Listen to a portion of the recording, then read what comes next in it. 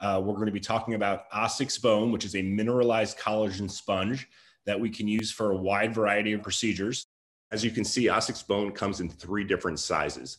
And at first glance, it really looks very similar to a lot of the other socket grafting materials that are out there, um, collagen sponges and things like this. Um, and if you start to handle this material, you really start to see how different this material is. When a typical socket uh, plug um, gets hydrated, you know, it gets very, very mushy very, very quickly. This material is really very, very different because it comes in almost a chalky consistency. And the way that we use it, which I'll show you in detail, is by hydrating it in the patient's blood. So it's a mineralized collagen sponge that's composed of uh, porcine cross-linked collagen interspersed with hydroxyapatite. And so this really allows for this great environment for vascularization of our bone graft materials. And it also allows us to keep that space maintained while that blood clot and that bone graft has a chance to um, uh, mature. Now, the science behind this product is really, really drives the success of this material.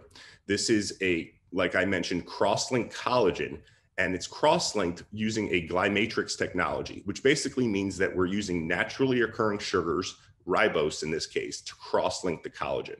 And so this really enhances the durability of the material and the ability of the material to turn into regenerated bone. Um, it comes in three sizes. This has really been my go-to, this five by five by 10. And actually I use this same size in each of the three cases that I'm gonna show you today we've already maybe have heard of this Glymatrix technology. Um, if you've ever used Ossix Plus before or Ossix Volumax, two of the other products in this Ossix portfolio, um, both of those products are really uh, been the mainstay of my regenerative procedures. Um, Ossix Plus as a very thin collagen membrane that's super resistant to degradation. And then Ossix Volumax, which is a two millimeter thick collagen scaffold that we're using for some sockets, but also um, as a scaffold in cases where we don't add bone graft material, we're still able to um, regenerate lost buccal plates around implants um, and to really thicken up the soft tissue. Um, and because of this cross-linking technology, we know that this material is actually mineralizing over time. And so it really makes sense for, for Datum, the manufacturer of these Ossix products, to have come out with a bone graft material. And this material is what we're really going to focus on today, this Ossix bone material. As you can see, when you're using this material, it looks much similar to a lot of these socket materials that we've used in the past. But like I mentioned earlier, this material will actually be super resistant to degradation and will stick around long enough for the body to regenerate bone in its place. Um, but it's very important when you're handling this material to get a feel for the material first. So that's what I'm going to try to do in the next couple of slides is just basically show you my advice in terms of handling things that will improve your, your long-term outcomes. Um, we all know for simple sockets, you know, the most important part of that procedure is probably to degranulate completely and get some nice bleeding in that socket. We then insert the Ossix bone into that socket completely dry. And what you'll notice is that this material is very hydrophilic. And so the blood from the socket will quickly infiltrate into this material. And then all of a sudden it goes from this chalky type consistency to a much more spongy consistency. And it actually will expand as it gets hydrated. Um, the next step is usually when we're placing a bone graft would be to pack this material really tightly. And I think it's very key for us to realize the benefit of this material is that it has that nice spacing for, for vascularity and for angiogenesis. And so while we're, we're, we're going to place this material at the original crest of bone, we're not going to really um, strongly condense it into the socket because we like the, the, the space and that environment that it creates for new bone formation. So I'll use the back end of a periosteal elevator, or I'll use a condenser with just some gently, gentle force just to get that material right at the level of the crest. And that's really gonna be key, not to overpack this material. And remember, because it expands, it's really nice for the sockets because at the apical extent of the socket, it's very um, easy for that material to expand and fill those voids so you don't end up with any dead space. Um, this part of the procedure is my favorite because rather than doing any sort of fancy suturing, we can really do the most simple possible um, suturing just to allow the soft tissues to, to passively close. And as you can see here, I left this case open probably four or five millimeters because I'm not putting any tension on the flap margin. And there's a lot of different ways that we could suture this material. Like I said, single interrupted. Um, you can use a figure eight or a reverse mattress. But the nice thing is because I can use this material in a lot of cases without using the addition of a membrane, um, I don't have to worry about me pulling or biting my membrane out of the socket. So that really makes it much easier for us to to manage sockets and not have to complicate cases that really have very simple solutions like I'm showing you.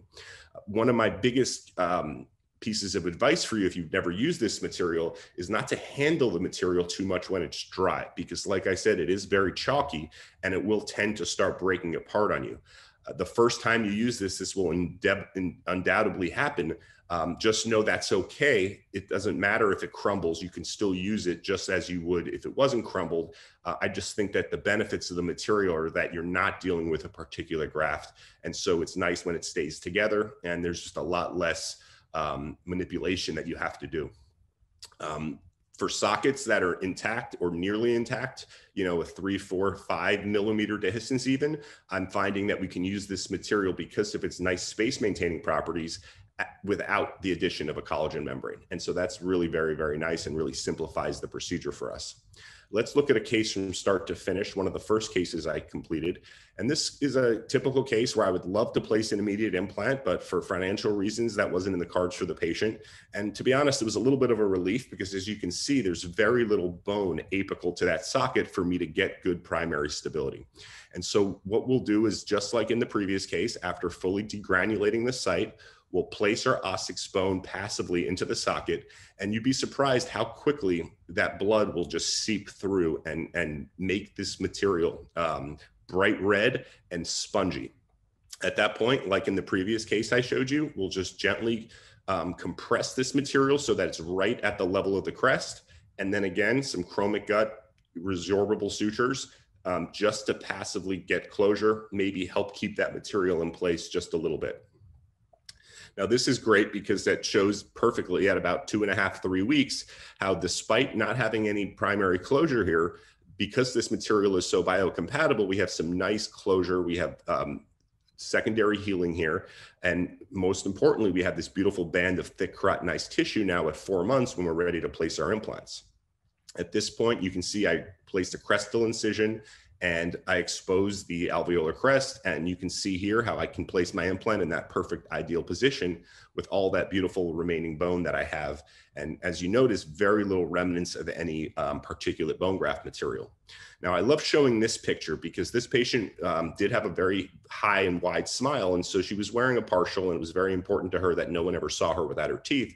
And so when I placed this implant, I actually decided to just bury it and let her wear her partial so I wouldn't have to do many adjustments there.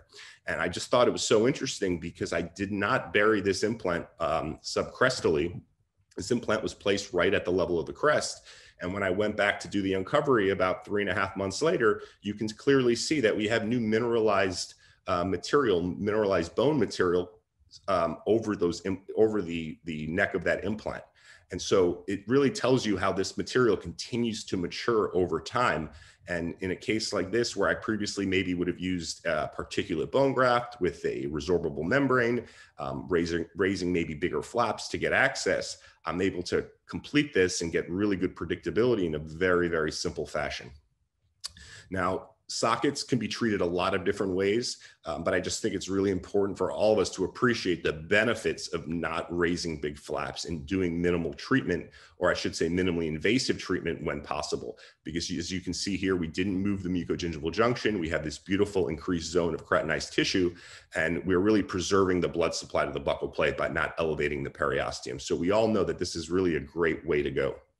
Of course, a lot of the cases that present to my clinic, and I'm sure yours as well, present with a lot more complicating factors. So here's another case of a little bit more advanced socket grafting um, where the patient presented with a buccal fistula that was draining. She had uh, quite a bit of swelling and discomfort. And taking a look at the x-ray, you can see we have a tooth with a history of a root canal and a recurrent uh, periapical radiolucency. And in these cases, like I mentioned in the last slide, I do try to keep things minimally invasive. So we'll extract the tooth without a flap, and then we'll go ahead and start degranulating and bone sounding to see where the buccal plate is. Of course, in this case, it wasn't so simple because this defect really started to expand as I got more apical. And as you can see here, we had quite a large fenestration. And in these cases, I just prefer to place a vertical incision because I really find the most important part of the, the success of these procedures is going to be completely degranulating these areas. And so by raising a little bit of a, a larger flap here to get access to that defect, I can be 100% certain that I've completely degranulated the area. I'll go ahead and take that five by five by 10 Ossix bone, place it into the socket, just like in the previous case. And you can see I have some great bleeding here. So this is really gonna um, quickly absorb all of that blood. And soon enough, we'll have a situation where now we have the entire socket filled. I'm not really too worried about dead space because I know this material expands once it gets hydrated with the blood. But because of the large defect here, I went ahead and put an OSSIX plus membrane right over the top very simply. And this just lays right over the top um, and conforms really well to that defect. Again, I do not want to get primary closure in these cases if I can avoid it, because then I have to worry about changes to the soft tissue. And so I feel very comfortable using this combination of materials and leaving it slightly exposed. So no fancy suturing. These are uh, PTFE sutures, but again, we're not looking for primary closure. We're gonna let biology do most of the work. And at four months, you can see we have this really nice, beautiful band of thick keratinized tissue. I'm able to place my implant in that ideal position. And here's an x-ray from the date of the implant procedure. And so a lot of my cases as a periodontist, I, will perform the implant, I'll perform the uncovering, and the patients disappear for quite a while. And I was lucky enough to see this patient in the office just about two weeks ago. So I was able to get a really nice follow-up.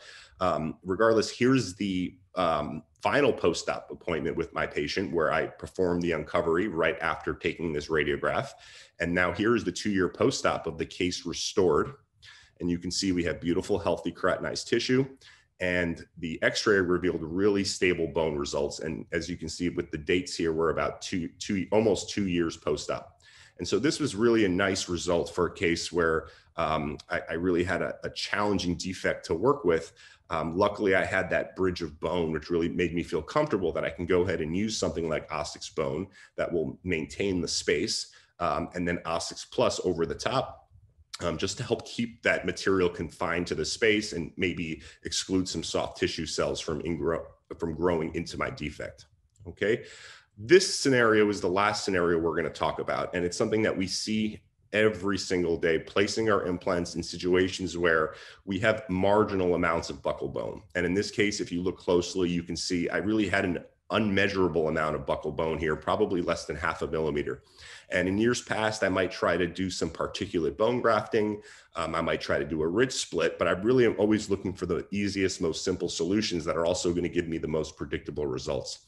And so, really harnessing the benefits of the handling of this material, rather than having to use particulate, I can use this OSSIX bone, place it right into that buccal concavity, again, you can actually see here very nicely how I probably manipulated that material a little bit too much when it was dry as it started to break.